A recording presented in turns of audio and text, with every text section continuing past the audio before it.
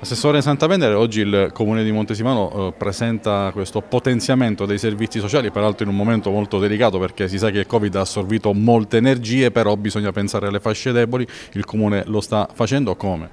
Già il piano nazionale ehm, sulla povertà 2019-2021 aveva previsto questo potenziamento di questo rapporto tra numero di abitanti e numero di assistenti sociali da uno ogni 6.500 abitanti, ma la legge di bilancio ha voluto potenziare proprio in vista di questa situazione di critica sociale da un eh, assistente sociale ogni 5.000 abitanti. Ovviamente eh, l'amministrazione attraverso l'azienda speciale ha avviato questo percorso già alcuni mesi fa, eh, dovendo ovviamente adottare un nuovo fabbisogno del personale, un piano triennale del fabbisogno del personale, quindi con tutte le procedure necessarie. Ma eh, c'è da dire anche un'altra cosa, che l'azienda speciale è uno dei pochi esempi in Italia ehm, ad aver avviato procedure telematiche per evadere appunto tutte le procedure concorsuali e quindi ovviamente rispettando quelle che sono le normative anti-Covid. Quindi è stato un lavoro ovviamente di squadra, io ringrazio l'azienda speciale, nel punto persona del direttore eh, Donatelli, ma ovviamente anche di tutto lo staff che lo ha accompagnato in questo percorso con i capi area che appunto si sono